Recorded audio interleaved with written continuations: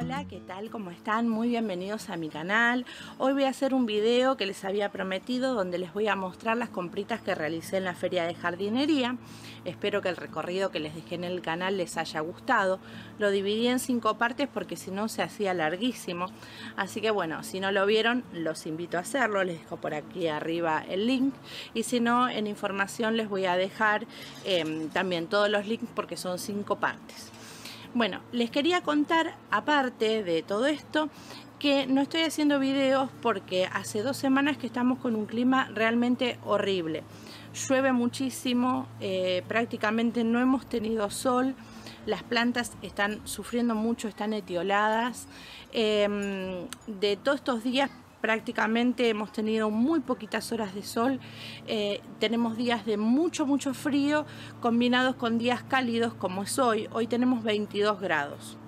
Aparentemente, por lo menos por lo que pronostican, eh, esta noche ingresa una ola de frío polar, eso va a bajar mucho, mucho las temperaturas, va a hacer que llueva dos días y luego vienen los días más estables con frío pero con sol.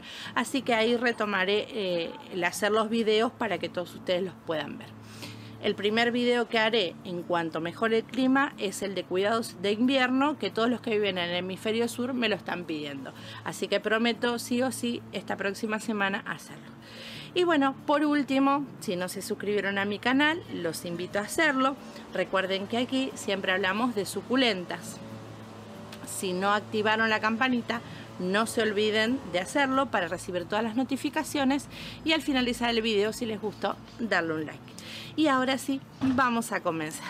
Bueno, lo primero que quiero mostrarles es este termómetro, que es una casita de hierro añejada es un termómetro que marca la temperatura en grados, y eh, grados centígrados y grados Fahrenheit. lo voy a colocar en el centro del invernadero para llevar un mayor control de eh, la temperatura que están teniendo mis plantas. Y ahí pueden apreciar que estamos en 22 grados. Bueno, muy bonito. Después compré tijeras que me hacían falta eh, una tijerita de poda de mano chiquita y eh, una tijera más grande. Estas me estaban haciendo falta, así que bueno, son herramientas que vienen súper bien. Una palita para colocar la grava natural o arena gruesa en la parte eh, superior de las macetas. Una macetita hermosa de las que son recicladas de envases de telgopor Miren qué bonita que está. Me encanta. De cactus Seibo. Después voy a elegir a ver cuál de mis suculentas va a ir aquí. Bueno, también compré productos naturales, dos Fitogro y dos Fitokeep. El Fitogro es un producto que se consigue aquí en Argentina, seguramente en otros países eh, se consiga de otra marca, yo les muestro ahí para que ustedes puedan ver eh, la formulación que tiene para que los busquen en su lugar de residencia. Este producto es fabuloso para las plantas que han tenido algún problema en la raíz, sea porque em, haya perdido, o sea, se haya retraído su sistema radicular o porque haya sufrido alguna pudrición o porque las hayamos esquejado para las plantas decapitadas colocamos una tapita por litro de agua y regamos una vez por semana y esto va a hacer que el sistema radicular se estimule y se vuelva más fuerte y crezca mejor. También va a levantar el sistema inmunológico de la planta. Y este, que es el Fitokeep, es un antipatógeno de amplio espectro. O sea, combate naturalmente hongos, bacterias y virus. Levanta el sistema inmunológico de la planta. Yo les voy a mostrar para que ustedes puedan ver. De todas formas les voy a dejar la información en la cajita de descripción porque si no están en Argentina seguramente haya en sus países de otra marca este tipo de productos. Bueno, este producto también se aplica una tapita por litro de agua y con él regamos. Para prevención lo tenemos que hacer una vez cada 30 días, pero cuando viene el clima así muy frío o viene el clima muy caluroso, es preferible que ese mes hagamos un tratamiento intensivo aplicándolo una vez por semana. Bien. Y las plantitas que compré son la eh, hasta Rose, muy bonita.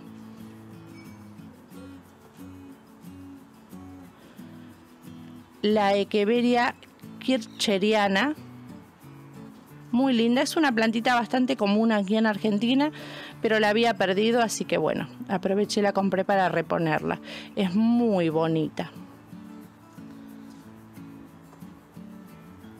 Esta belleza que cuando crezcan van a ver lo que es, ya se las voy a mostrar cuando esté más grande, es una Echeveria Diamond Style. Creo que se pronuncia así, perdón si está mal, pero no sé inglés. Miren qué belleza, es hermosa. Esta Echeveria Blue Atoll, también muy bonita.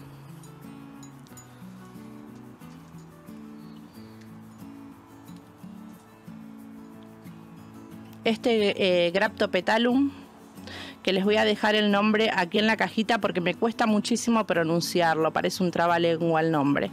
Eh, es hermoso, hermoso. Muy bonito, muy lindo.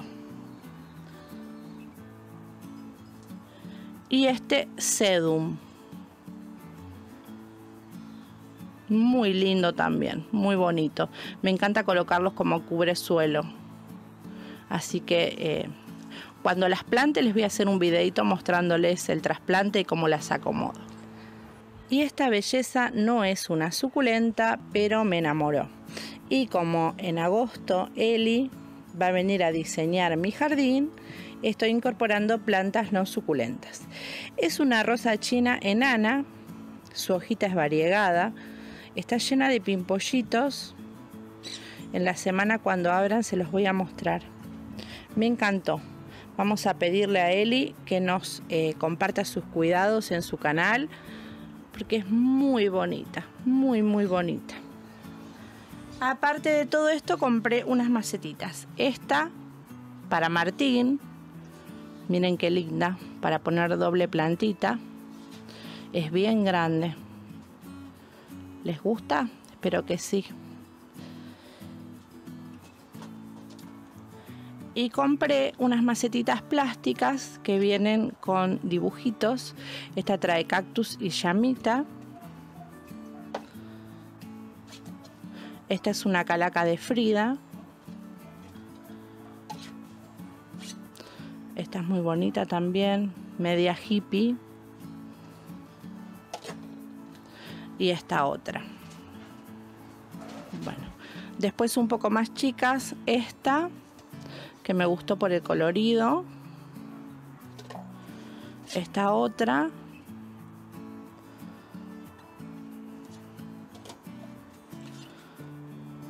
Esta otra con mandalas. esta con plantitas y esta con eh, objetos de música, bar, media de los 70. También compré macetas plásticas color violeta. Estas son para las plantitas que llevo a las ferias, que, que reproduzco y llevo a las ferias. Y bowls los bol de plástico. El otro día me preguntaban por qué utilizaba de plástico, siendo que el plástico le hace tanto daño al planeta. Bueno, les cuento que estas las elijo porque son de plástico reciclado, o sea que no estaríamos dañando, sino que estaríamos colaborando al comprarlas. Esto da uso para mis equeverias.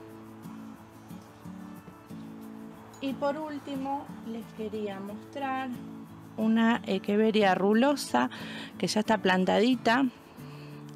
Esta fue un esquejito que vino con un poquito de raíz que me regaló mi querida amiga Andrea Sandoval. Si ustedes pueden ver ahí, ya muestra sus primeras carúnculas. Miren qué bonita. La bautizamos NN, NN porque al no estar registrada hay que ponerle esta sigla. Viviana R, porque es del cultivo de Viviana Rojas. Muy bonita.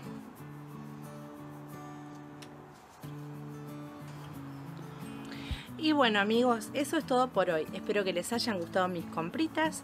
Si estuvieron en la feria, cuéntenme, déjenme en comentarios, cuéntenme qué les pareció, si no pudieron asistir y vieron los videos. También me interesaría saber si les gustó, si les gustaría que arme otro video en la próxima feria, pero que me detengan alguna parte en especial o que eh, tome más tiempo de grabación en algo en particular así que espero sus sugerencias.